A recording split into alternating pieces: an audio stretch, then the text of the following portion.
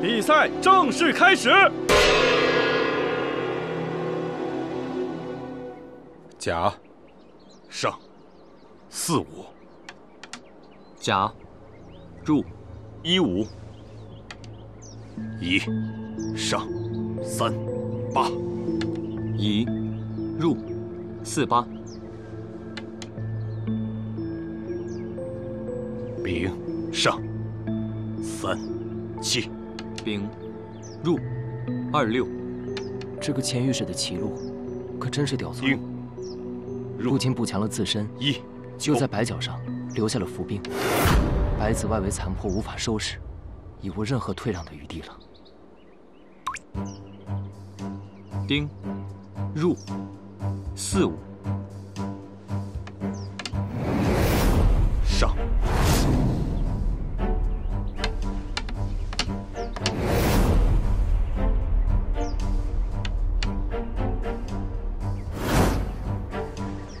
五，上，十，二，五，入，四五。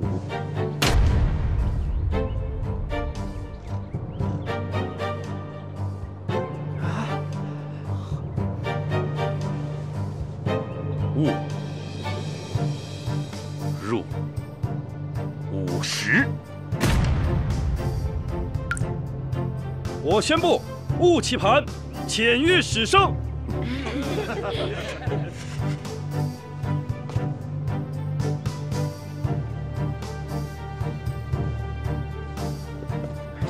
比赛继续。甲，上，四。甲，入，六二。一，去，十三。我在此布下陷阱，他若落子切断，这局变成骑虎之势，十拿九稳。黑子步步为营，却又变幻莫测。对方棋艺不在我之下，竟让我捉摸不透。这一步到底该不该断？这手棋布下了陷阱，可一定要谨慎呐！这步万万不能断。想要赢得比赛，唯有并息险招。一，上，二六。哈哈哈哈哈哈！想不到大玉国竟派如此二流棋手和我对弈，真是可笑至极。这个杨子安，这到底怎么回事啊？啊，如此明显的陷阱还要往里跳，还不如让我去参加比赛呢。你们两个能安静一点吗？我闭嘴。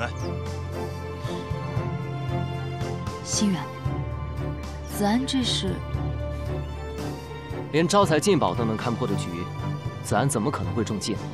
这叫醉翁之意不在酒。蝶衣，你看，子安布局之时，都是气势凶猛，步步杀招。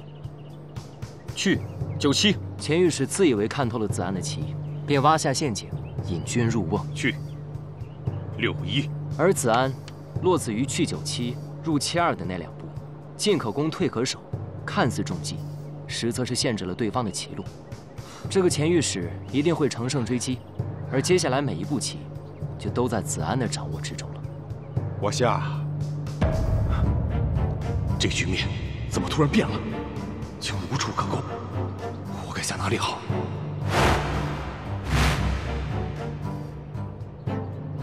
甲，去，三五。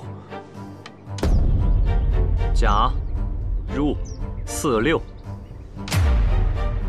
我宣布，甲棋盘，上一管胜。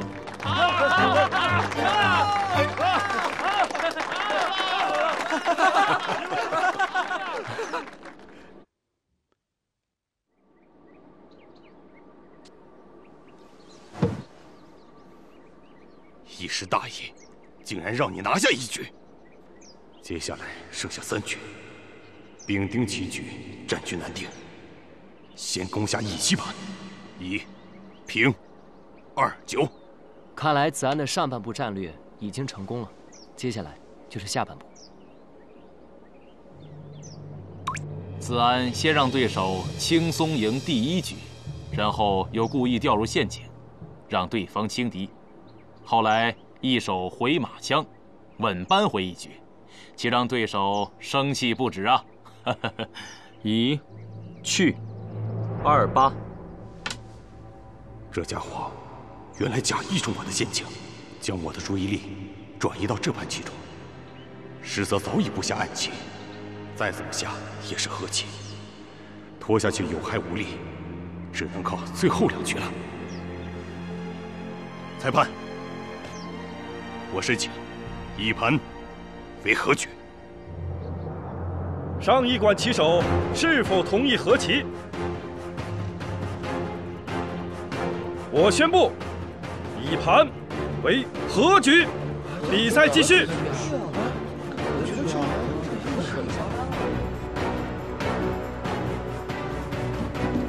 丙上四六，丁入二五，提子六目。丙丙三七，丁丁上九二，丙上二八，丁入二九，提子一木。丙去。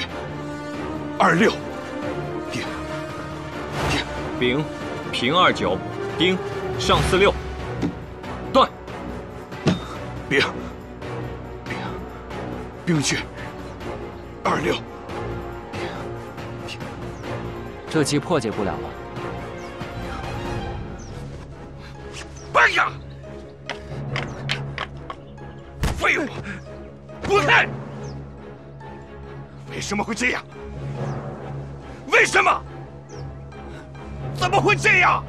啊？为什么会这样？为什么？下棋不仅仅比的是棋艺的精湛，切莫心急求成。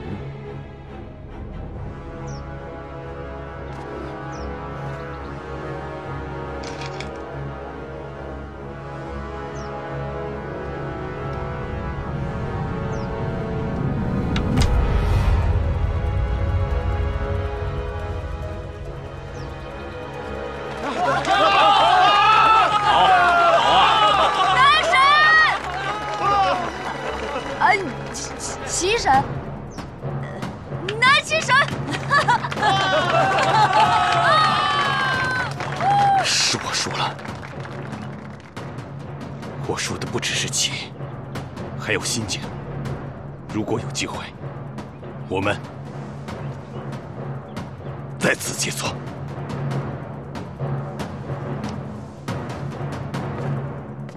两位选手的对弈，技艺非凡。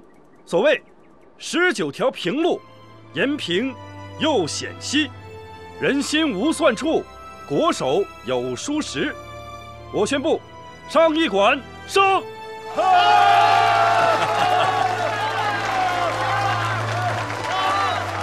好好